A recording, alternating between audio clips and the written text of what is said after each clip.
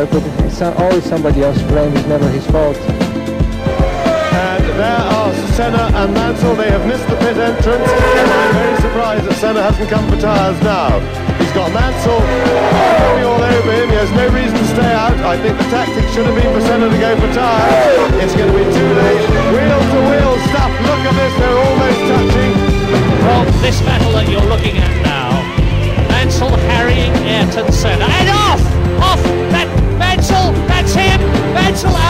The World Championship has been won by Ayrton Senna. Well, Mansell tried hard. I think he was trying just